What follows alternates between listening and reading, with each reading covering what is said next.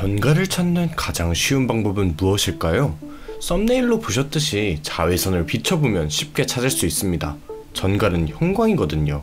형광성은 전자기파를 흡수하여 가시광선을 쉽게 말해 빛을 내뿜는 걸 말합니다.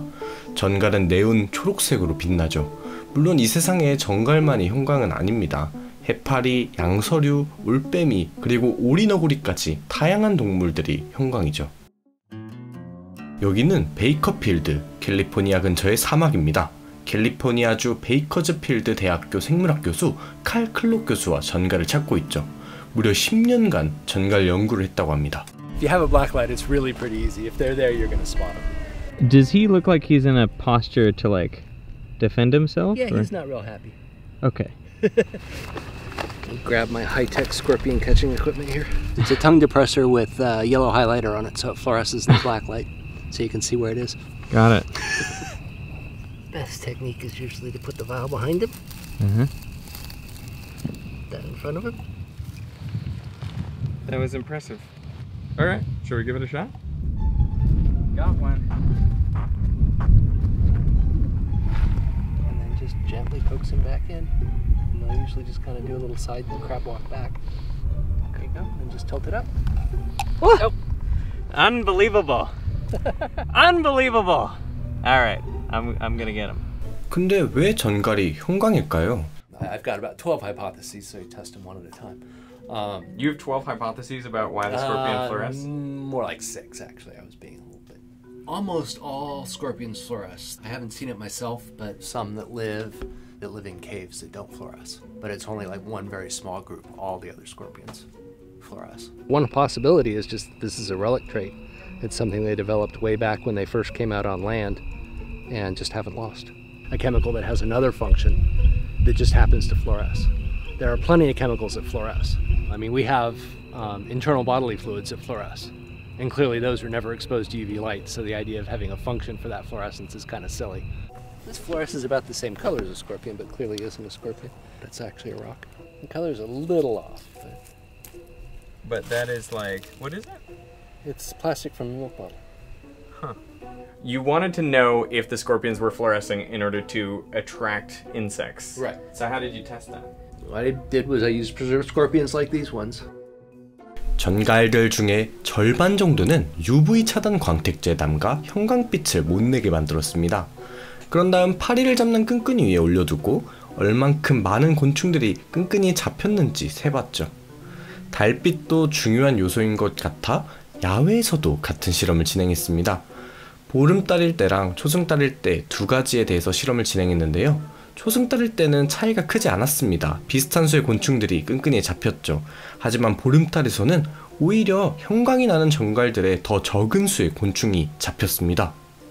It seems kind of counterintuitive. So that tells me that my hypothesis was wrong, which happens a lot. Basically, yeah, they're not they're not using their fluorescence to lure insects. In fact, the fluorescence is a bad thing for them in terms of their ability to catch flying insects at least. Well, let me ask you this. If you find that fluorescence is counterproductive for the scorpion in some way, mm-hmm. doesn't that indicate that there has to be something useful that it's doing, Exactly. There must be something that counteracts that sort of negative? that for it? negative, yeah. Scorpions are really well adapted for what they do. One of the cool things here is that scorpions um, are actually able to metabolize um, iron and nickel. And in their um, pincer here and on the tips of their claws, they actually have basically iron to uh, strengthen that. Iron and nickel at the end of their tail. Yeah, yeah. You can see like the, the color here is a little bit different, and it's because of the iron. That seems very aggressive to me. One of the main things we're interested in here is how they see. So I've seen two of their eyes. So, those are the median eyes right there. Those two dark spots. Yep. There's a cluster of three eyes right there, and of course on the other side, so they're symmetrical. So they have a total of eight eyes. Can they detect light with parts of their body that are not eyes? Yeah, actually they can. 1968년 연구자들은 전갈들을 반만 가려진 페트리 접시 위에 놓았습니다. 그런 다음 밝은 빛을 노출시켰죠. 모든 전갈들이 빠르게 어두운 곳으로 몸을 숨겼습니다. 그 다음 연구자들은 전갈들의 눈을 가린 뒤 동일한 실험을 진행을 하였습니다. 그러자 93%의 전갈들이 똑같이 몸을 숨겼죠.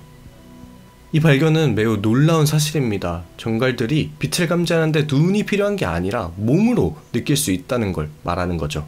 It showed that they have what's called an extraocular light sense in their tail, so they can detect light with their tail. They can't form images, they can't, but they can detect light. The tail of a scorpion can detect light. One hypothesis is that they use it to communicate with one another. Um, the idea being that they use it to determine primarily whether or not another scorpion out there is of the same species for mating.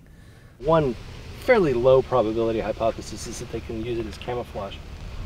Because they absorb UV light, um, if they're sitting on another surface that absorbs UV light and you have an organism that sees in the UV, like some owls and things like that can do, um, they would tend to blend in very nicely with that.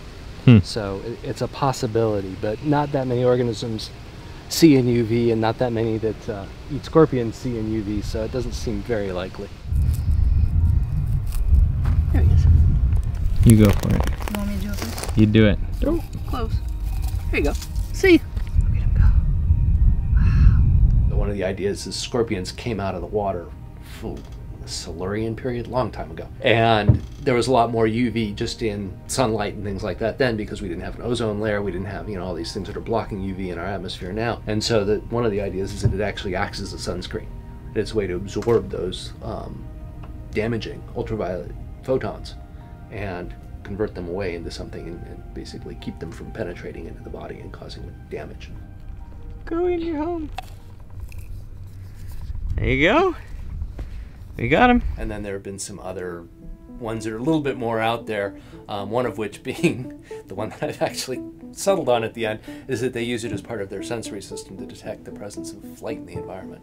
So this was a later experiment after I gave up on the initial idea that showed that didn't work. So all I really did on that one 실험은 정말 간단합니다. 전갈을 한 마리씩 여기에 집어넣은 다음 전갈을 자외선에 노출시켰죠. 숨을 수 있는 공간을 둔 채 말이죠. 그런 다음 전갈이 얼마나 노출되어 있었는지, 얼마나 오래 숨어 있었는지 시간을 측정했습니다. 왔다 갔다 한 횟수도 측정했죠. 그리고 이 실험은 형광성을 내지 않은 종에게도 진행되었습니다. 더 나아가서 형광 능력을 제거한 전갈로도 실험을 진행했죠. 간단하게 전갈을 오랜 시간 동안 자외선에 노출시키면 형광 현상을 전갈의 외골격에서 일으키는 물질이 광표백되어 더 이상 형광성을 띠지 못하게 됩니다. 화학 물질이 제대로 작용할 수 없도록 파괴하는 것이죠. 이 실험의 결과 형광성을 띠지 못하게 된 전갈의 활동 수준이 크게 바뀌었습니다. 형광성이 없는 전갈의 행동은 어둠 속에 있는 것과 같았습니다. 노출된 것과 안 된 것 둘 다 비슷한 행동 패턴을 보였죠. 형광성을 내는 전갈들은 자외선에 노출되자 활동 수준을 낮췄습니다.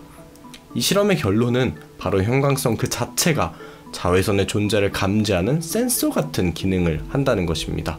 A guy by the name of Douglas Gaffin um, came up with a great phrase for it. I wish I'd come up with the phrase, but I got to give credit. Um, he calls it a whole body photon detector. So it's part of their sensory system. What we don't know is why they want to detect ultraviolet light so badly that they've turned their whole body into a photon detector. The suspicion is that it has to do with determining um, whether or not they should come out at night.